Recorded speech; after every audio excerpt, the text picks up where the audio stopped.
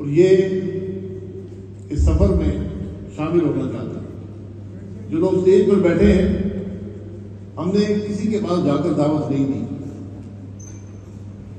इन सब हजरात की मेहरबानी है। इनकी अपनी सोच